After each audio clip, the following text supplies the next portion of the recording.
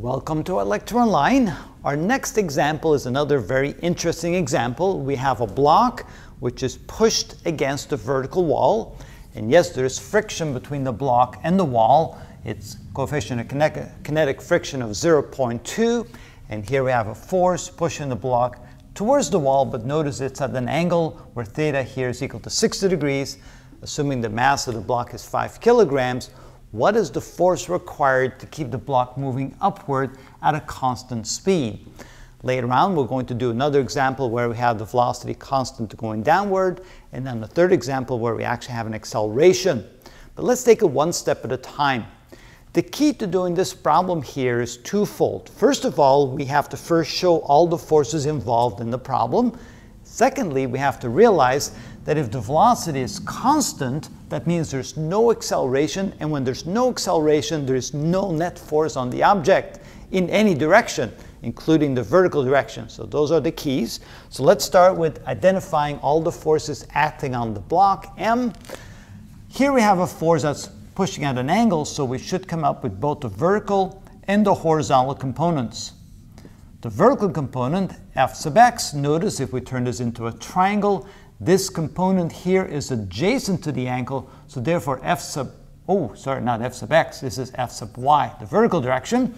That would then be equal to the force F times the cosine of the angle theta. That's kind of strange because normally we don't associate the cosine to the vertical direction, but in this case, the way it's drawn, it is indeed that way. On the horizontal direction, f sub x, that's going to be equal to f times the sine of theta, because if we move this component over here, we notice it's opposite to the angle, so therefore we use the sine. In addition to that, we have the weight, the force of gravity pulling down, mg, and then we have the friction force. Now, what will be the direction of the friction force? And even I make mistakes on that unless I follow this simple uh, technique of figuring out the direction of the friction force. The direction of the friction force is opposite to the direction the object will move if there was no friction force at all. So if there's no friction force at all and the block is being pushed upward at a constant velocity, then opposite that direction is downward. So the friction force will be downward in this case. So we draw the friction force like this, force friction, and that's equal to the normal force times mu. Now in this case, the normal force is provided by the horizontal component of this force, which is F sine theta. So therefore the friction force is F sine theta times mu, and of course it's mu sub k since the block will be moving at a constant speed. So now we've identified all the forces in the y direction, the component of force pushing upward, the weight, and the friction force. And now we can set up the equation where we know that F net is equal to the mass times acceleration, but in this case, since we have a constant velocity, we know that's equal to zero, so the net force equals zero. So what is the net force? Well, the net force is all the forces aiding the movement, in this case the velocity going upward, minus all the forces opposing that motion. And so we can say that F net is equal to all the forces aiding, which is going to be F times the cosine of theta, the vertical component of the force pushing the block, minus the weight of the block, and minus the friction force, which is F sine theta times mu sub k, and of course, since there's no acceleration, that must equal zero. And notice what we're doing here is we're trying to find the force required to slide the block upward at a constant velocity. So now what we're going to do is we're going to factor out an f. So we move the mg to the other side. So we have f times the cosine of theta minus the sine of theta times mu sub k and that equals, we move the minus mg over, that becomes a plus mg.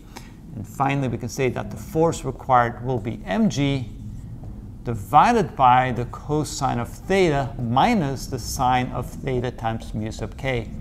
And now if we want to find the numerical value, let's plug in the numbers.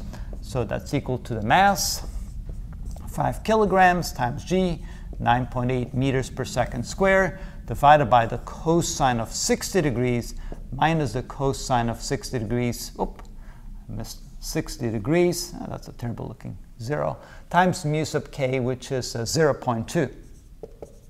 Let's get rid of this and make it a, a nicer looking zero. All right, with the calculator, we should be able to figure out what that's equal to. So in the denominator, we have the sine of, oops, ooh, wait a minute. That should be the cosine, that should be the sine.